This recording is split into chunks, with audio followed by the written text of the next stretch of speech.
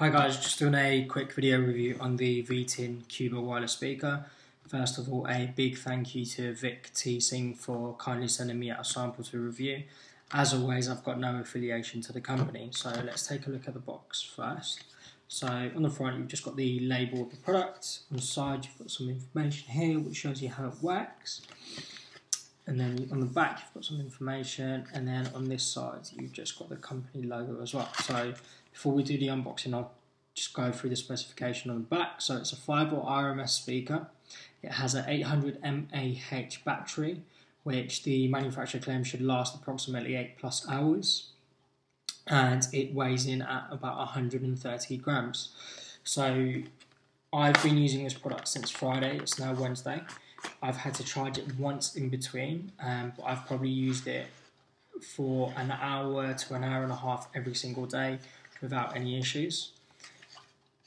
So in the box, you get the speaker itself, so we'll pop that out. It's just got a VTIN label on the back and on the front you also get is move that instruction manual. You get a micro USB charging cable to charge it.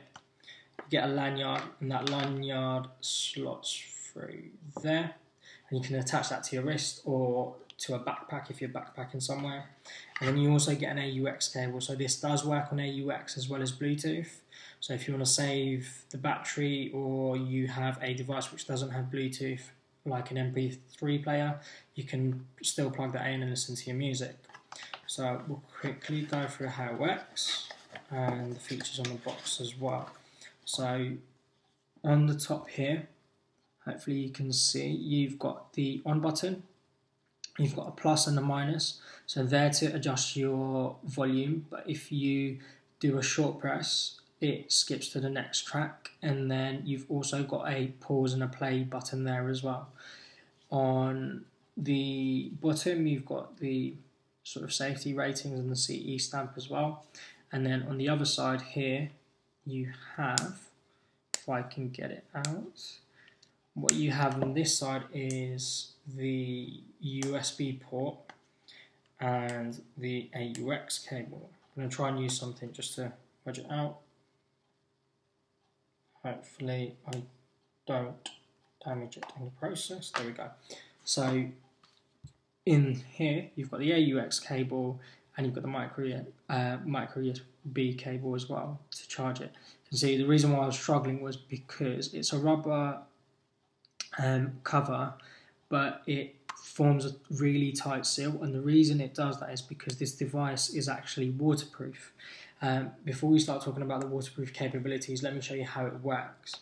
So what you want to do is you want to press the on button, turn the device on and it makes some audible noise.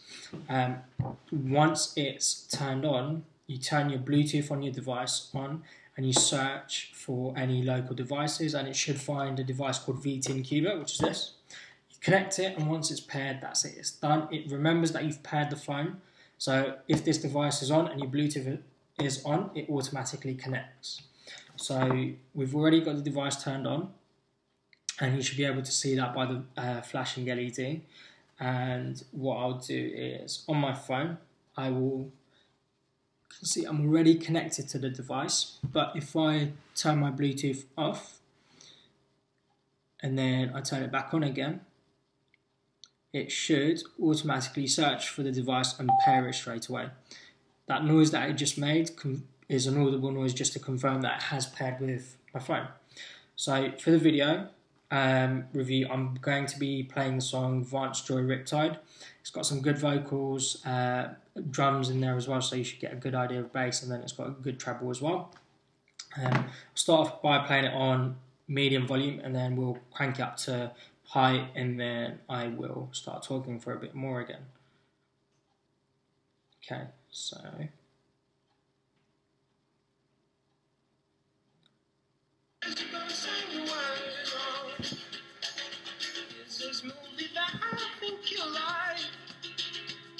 This guy decides to quit his job and head to New York City. This cowboy is running from himself.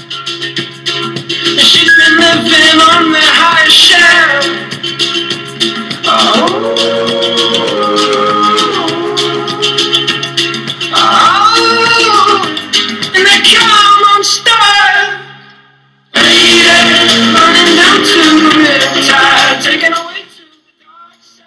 we go. So I don't know if you noticed, but the when it was on full volume, the actual bass was causing it to move around on the table a little bit. I I think on the video it probably will come across as um, not as well as it comes across in real life, but the audio was really clear. It wasn't really scratchy or there wasn't any distortion at full volume. Um, it was bassy, but I wouldn't say it's really, really bassy. I would say it's it's a fairly good all rounder. So if you're after something that's quite bassy, this product probably isn't right for you. If you're after an, an all rounded product, um, I would say this ticks pretty much all of the boxes. I do have some XMI minis, and they're the ones where you twist and it expands. And those are a lot more bassier, but that's because when you twist it and it expands, it allows the air to sort of reverberate and create that bassier noise. They are not as loud as this though. So this is much, much louder. Um, I mean, I think it's a great product. It's really, really easy to use. You can control it using the phone. So if I lock my phone, you can press play and it will play straight away. You can pause it using the device there. And then you can crank up the volume as well using this. So it should, if I press play.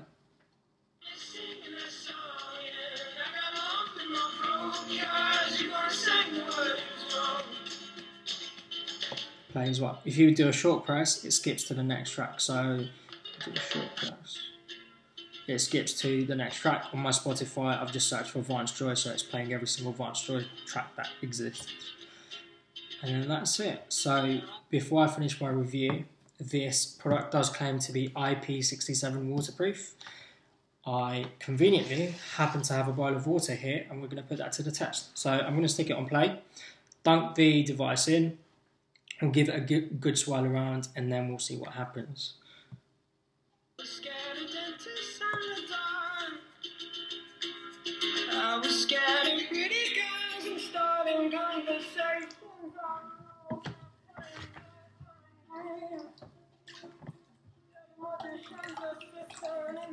So, stuck it in water, water's gone pretty much into all of the ports, and it does a weird thing where it goes quiet for a little bit, and it's probably 20 to 30 seconds.